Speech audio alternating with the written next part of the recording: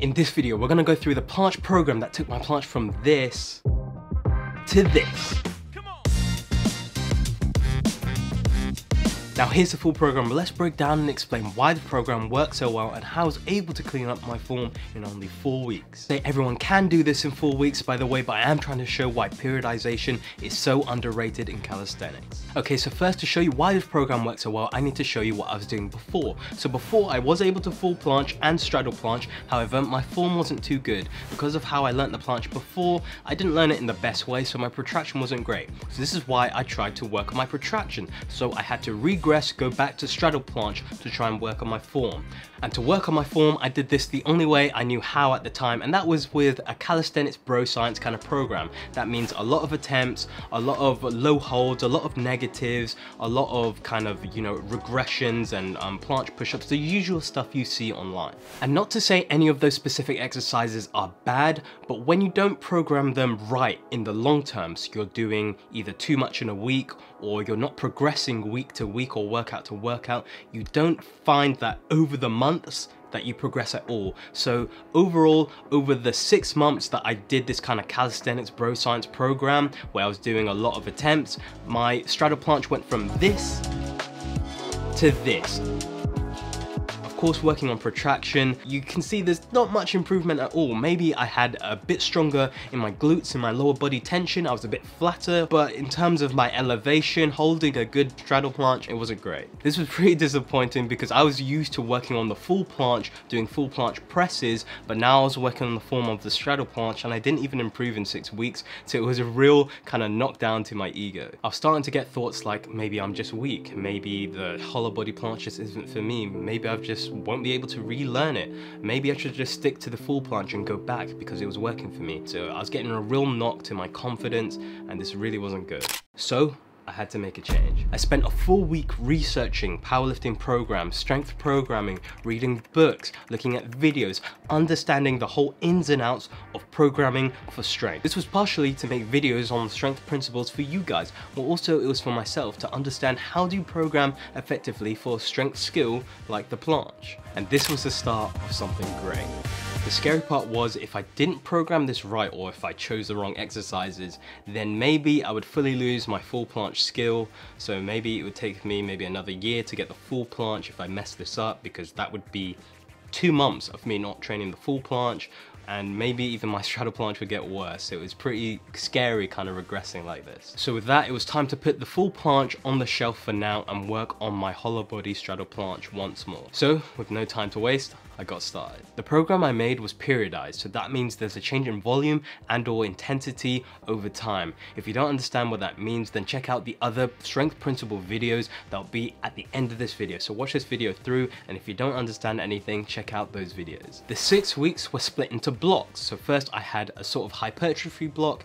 then I had a strength block, then I had a peaking block, which is where I would test my maxes. Then at the end was a deload. Before I dive in and show you how I progressed week to week, let me explain the exercise selection because this is arguably the most important part of the program because if I chose the wrong exercises, I wouldn't progress in the right thing, which is of course getting that hollow body planche, so fixing that scapular winging. So let me explain why I chose these exercises. And of course the exercises didn't change over the weeks, so they were the same exercises, all that changed over the weeks was either the volume, intensity, or frequency. So the first exercise in every workout was the assisted hollow body straddle planche hold. I made this a point to prioritize this exercise because that's what I wanted most. My number one goal was a hollow body straddle planche for at least five seconds. That was the goal of this entire program. So it made sense to put this first in your workout. Your biggest lifts or most draining lifts, they should go first. Whatever you want to prioritize in terms of your goals and what's most draining, that's usually the largest lifts. So that's what I put first in the workout.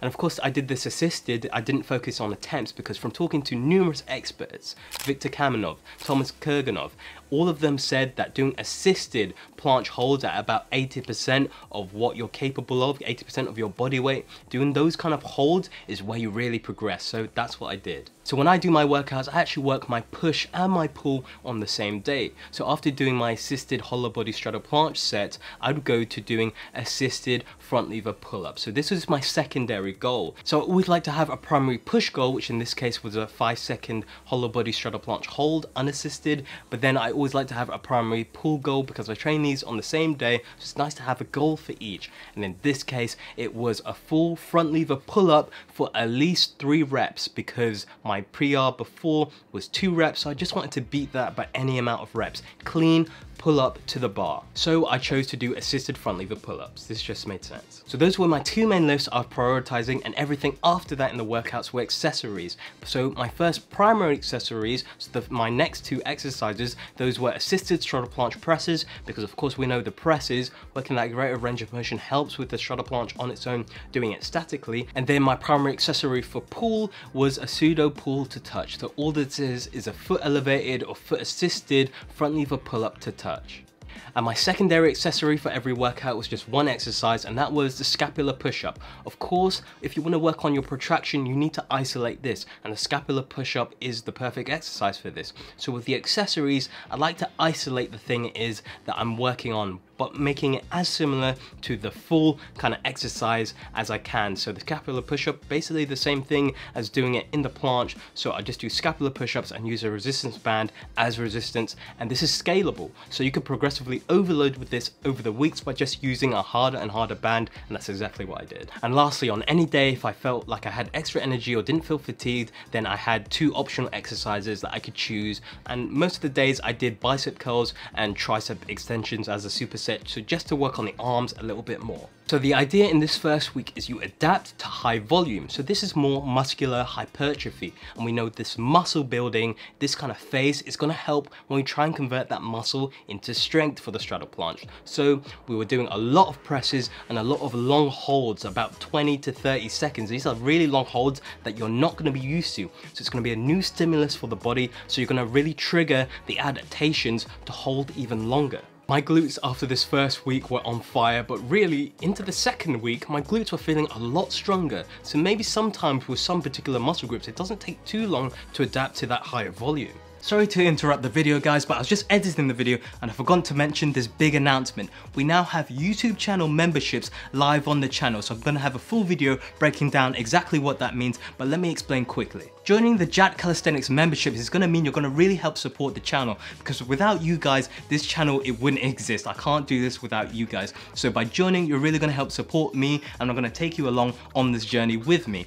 Also, you guys are gonna get perks. So I'm gonna break it down in that other video, like I said, but you're gonna get perks like individual form checks, one-to-one -one Zoom calls, all included in the membership. I'm gonna also have the Jacked Calisthenics training vlogs where I break down the tips I use in my videos to give you guys so you can see the tips used in practice. If you do join and don't like it, don't worry, you can get a full refund, so don't worry about that. But if you are curious about working with me, having me train you to get you the planche just like I did, then hit the join button down below. That will take you to another page where all the information are. There's also another short video explaining a bit more about the channel memberships and how you can join the Jacked Calisthenics gang. So don't worry, I am confident I can help you get that planche by joining this membership because any roadblock, I'm gonna be there to help you personally myself. No team, just me. So guys, if you're interested, check down below. In any case, on with the video. Now we were into the second week. So this second week was still muscular conditioning and hypertrophy, which of course means high reps or high volume. So still, we were still on the high volume kind of phase, hypertrophy phase, but the thing here was difficulty increased. First week was moderate difficulty, second week is hard difficulty. So what does hard difficulty mean? This means intensity is gonna increase. Week 1 compared to week 2, intensity was here for week 1 and now intensity is here for week 2. But in terms of volume, well volume was here for week 1 and then we decreased volume a little bit because as you can see from the program, we took away one set. So instead of doing 4 sets for everything, we're doing 3 sets. That's because we have this increase in intensity. So we decreased the volume just to kind of offset that so we don't overtrain because I don't want to be too sore for the next workout or not recover for the other workouts I have in in the week. And how did we increase the difficulty? Well, as you can see in the program, for the assisted holds, we went from, instead of doing a green band at the start, we would still warm up with the green band, but then we would do our 20 seconds hold with the yellow band, then the red band for 16 seconds, and then again for 12 to 16 seconds. So these were again very long holds, but now we're working more with the yellow and red band, so that's more of our body weight that we're gonna have to get used to holding up in that straddle planche, but with a hollow body position. So there were still four to five workouts again that last workout was optional if you want to do it, but then the fourth workout, that's where you do a max hold. So we still have max holds in this workout program. So there's still a time and a place when you do want to do your max holds,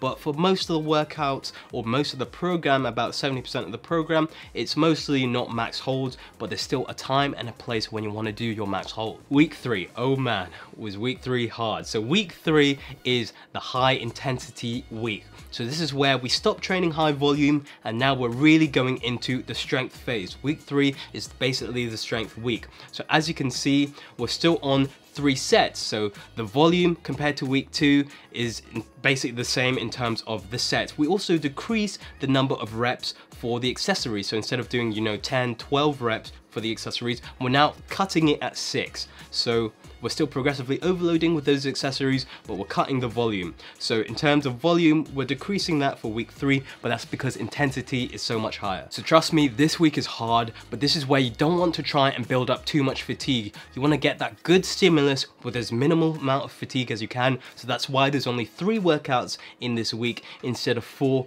or five, because if you were doing four or five, you probably wouldn't recover for the next week, and probably by the end of the week, you wouldn't be able to get in an effective workout. So that's why three workouts in this week was really good.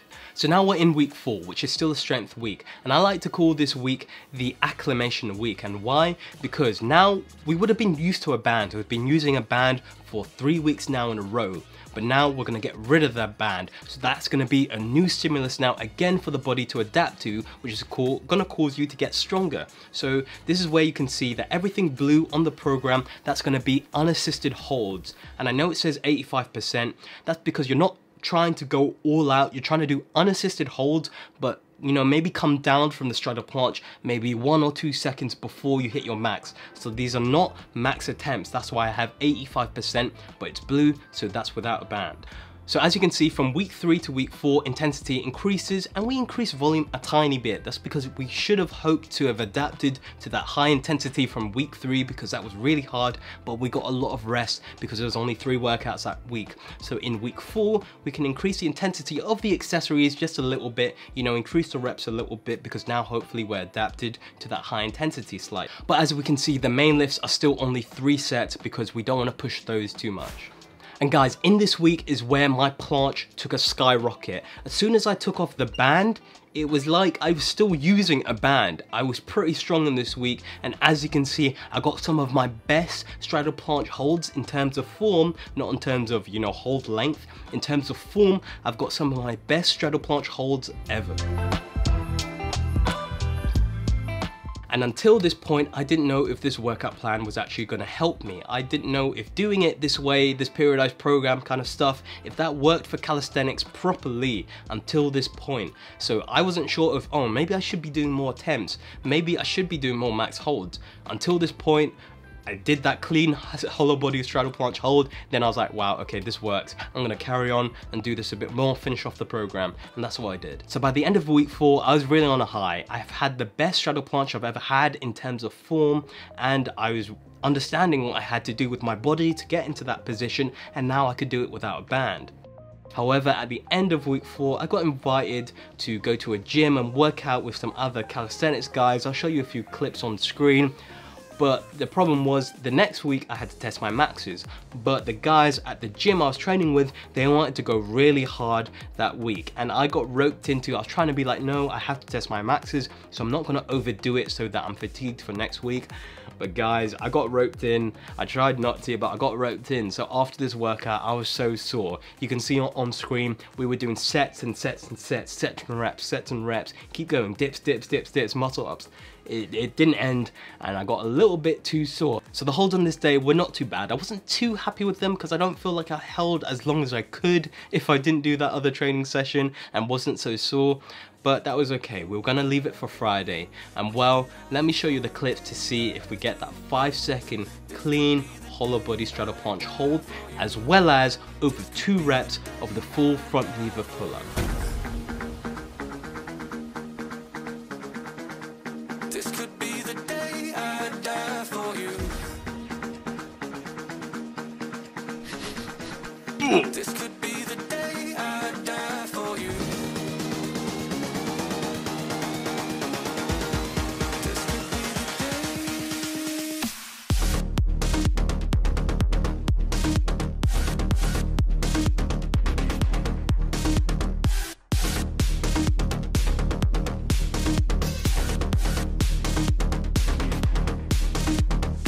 This was incredible. In only four to five weeks, I'd done the best straddle planche hold in terms of form I've ever done in like four years of training.